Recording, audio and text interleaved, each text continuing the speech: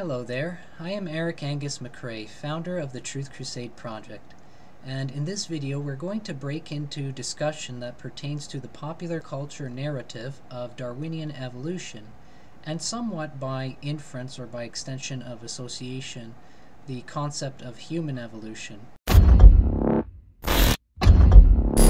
For the purpose of this video, we are concerned with the narrative of the time scale or the evolutionary time scale for the dinosaurs. For those that are familiar in our popular culture narrative and in public schools, this concept that 65 million years ago dinosaurs walked the earth. And what we actually find when we look through various documents known to the scientific community but not very well known to the general populace is there is some very powerful evidence that is working against that narrative. And the reason it becomes very troubling or problematic is you find as you look through these articles that information has absolutely been censored and suppressed. Now, for those who read the Bible, this does not come as a surprise. According to the scripture, those who are ungodly suppress the truth in unrighteousness.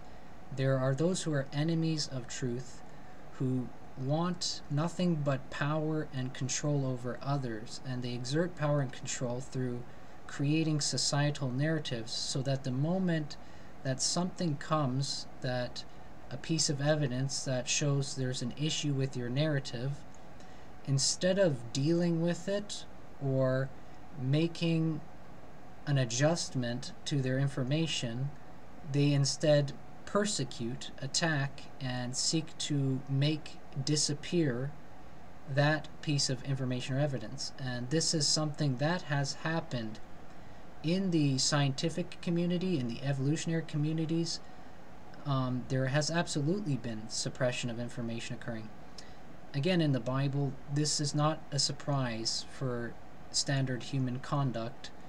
We see this in the case of the Pharisees, in that they made a cover up um, for the resurrection of Jesus. So, this type of information uh, suppression, it's to be expected, but it's always going to be very disappointing and frustrating when you're dealing with this. Let's break into it. So, first, the topic at hand is carbon dated dinosaur bones. Unfortunately, there's a lot of elements here. Um, I can't make in one video an explanation very doing carbon dating justice as a topic. It's very complicated. There's an article I recommend the users read from Creation Ministries uh, from creation.com slash cab. I'll put a link in the video. I'll put links in the description and it describes the concept of carbon dating. Um, but the general point is that that you'll find consistently carbon dating is not reliable for certain time periods. It, it really cannot go past a very long period of, of time and certain numbers are put out by bona fide educated scientists who have gone through university, the ones who are accountable and honest, saying this can't go past 90,000 to 100,000 years. And there's a lot of interwoven concepts you sort of need to understand to get what that means. Um, so, for one thing, uh, a first important piece of data to know is carbon dating is used on organic substances, organic material, especially for creatures that were once alive and died, or for things like plants, or a human body, or for, in this case, dinosaurs, dinosaur bones. It does not work on something like a volcanic rock or a piece of um, some slab of concrete that you just spontaneously find. You cannot use carbon dating on just anything. It's it's for organics. The general concept is you have decay rates in the radioactive isotope of um, carbon 14. and carbon takes many forms. You have carbon 12, you have carbon 14, but in the case of carbon 14, it has a projected decay rate, it has a half-life, and certain calculations can be made using that information to determine the approximate date that a creature dated with this method um, lived. However, it's not infallible in the sense that it's not carbon dating is subject to bloated numbers. In other words, because some assumptions are made in the calculation process, and the reason this is because the carbon 14 to carbon 12 ratio changes throughout time. Um, and that which we find in in the elements, it's affected by historical happenings. For instance, if you speak with scientists who are doing carbon dating, they're going to tell you that they have to factor in the Industrial Revolution and all the chemical reactions that kind of smog produced in the atmosphere affects that ratio. And once they run calculations, some of the scientists will say, okay, that's enough. We can, we, we, they'll say that, quote, we know for a fact that apart from the Industrial Revolution, the rates have remained the same and the ratios remained the same throughout all time.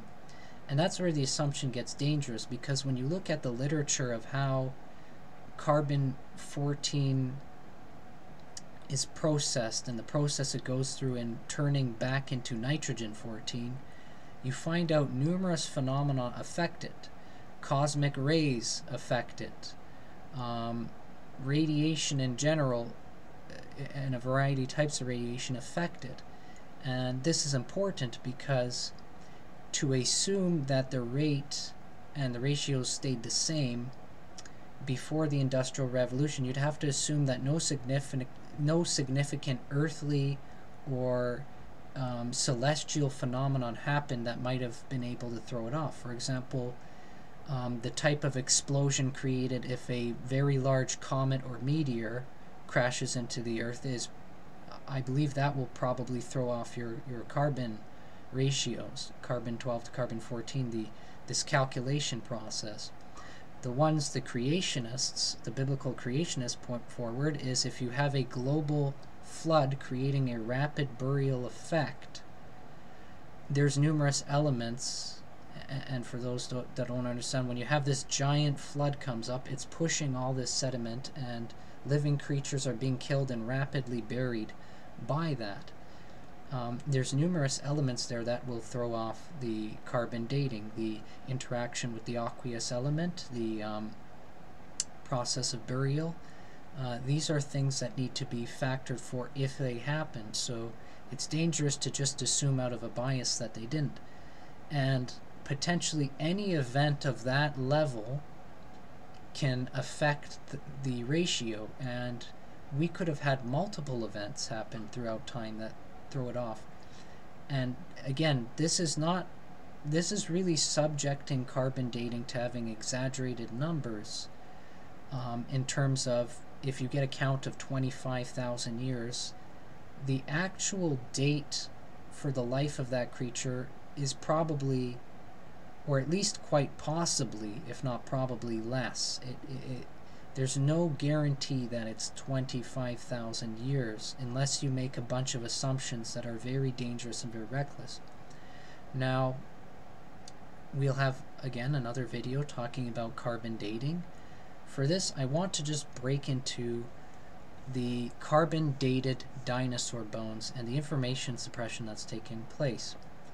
Now, I discovered this from the Creation Ministry videos, uh, Creation Ministries video, sorry, titled um, The Most Cutting Edge Fact for Creation. And they went through multiple aspects of the creation versus evolution debate, and they explained uh, in numerous videos the concepts of the debates of the time scale of the Earth and things of this, of course. They had some elements they went through in this video, but one was this particular story about carbon-dated dinosaur bones, and it was the one that most in particular had this information suppression element attached to it, and I found it very compelling that that needs to be shared. So let's break into this. So to quote the um, Creation Ministries video here, in addition to all these, and all these is with reference to car, uh, not carbon date, sorry, uh, we found dinosaur bones. Scientific community has discovered dinosaur bones which have contained actual dinosaur DNA, um, dinosaur blood cells, and dinosaur soft tissue. Uh, actually, a list included blood cells, blood vessels where their contents could be squeezed out, hemoglobin, actin, which is a protein, tubulin, another protein, collagen, again another protein, and histones, which is a specific protein for DNA, and, and actual dinosaur DNA. All these were found. Now this is sort of known, um, but again, it's kind of purposely avoided, but I, it hasn't seen the same level of suppression as this particular story. Well, in addition to these, dinosaur bones have been carbon dated, is what they described. And they say, now carbon dating has nothing to do with millions of years. And they explain that you can find the explanation for this on their Creation Answers book, creation.com slash CAB, and the information they provide there is quite compelling. So the argument here is that um, carbon dating cannot date something past, say, 90,000, 100,000 years. And the reason is because the carbon decay rates don't work that way. Beyond that point, there should not be any carbon 14 left. It's like the massive, the the maximum possible projection you can come up with for for carbon 14 remaining in a in a specimen. Well, past 90,000 to 100,000 years, it's depleted. It, it wouldn't be in the specimen. So, despite that fact, we have dinosaur bones that have been successfully carbon dated. And now this becomes a problem because carbon dating can't date an organic specimen that was alive if it was in fact alive even a million even just one million years ago 1 million years ago, let alone 65 million years ago. It's something that only goes up to a very recent timescale at maximum 90,000 to 100,000 years, and many argue a lot less than that. Some will argue it down to 50,000 years.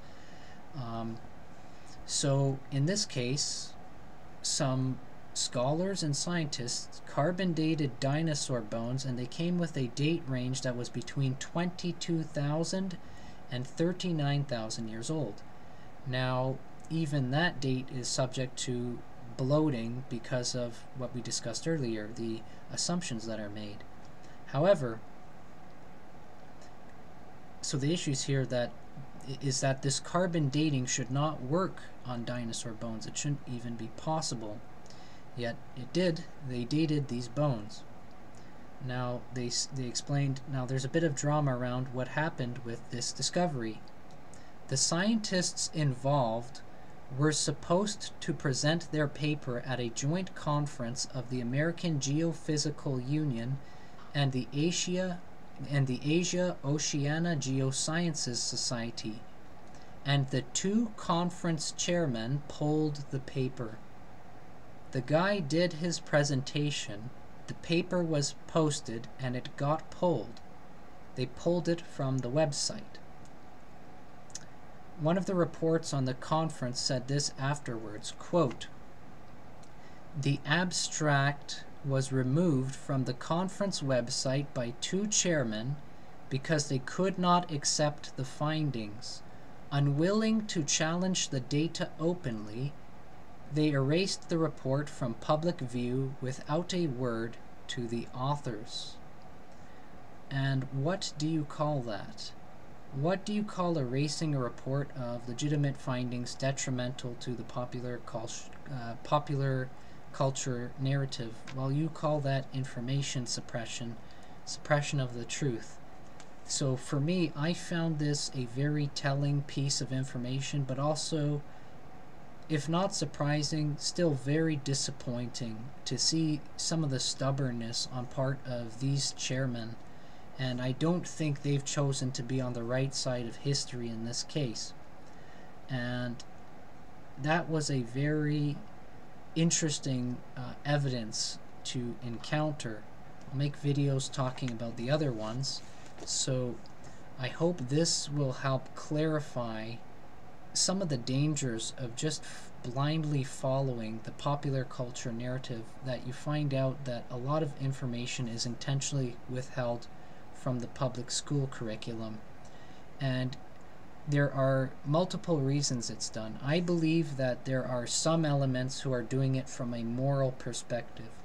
These are people who absolutely have a athe I wouldn't even say atheistic, an anti-theistic moral system uh, tied to a worldview that is dependent on a Darwinian evolutionary narrative that's been formulated a certain way where they don't want anyone touching that or tampering with that because they want control over how humans behave.